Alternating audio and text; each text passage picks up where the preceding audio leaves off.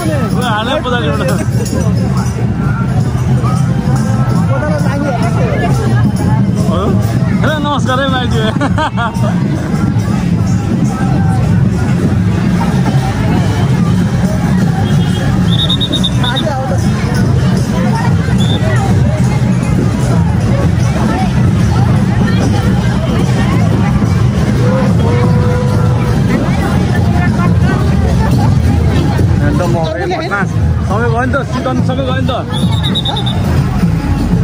सिटन सबै गयो नि त मकै भोटमा सबै गयो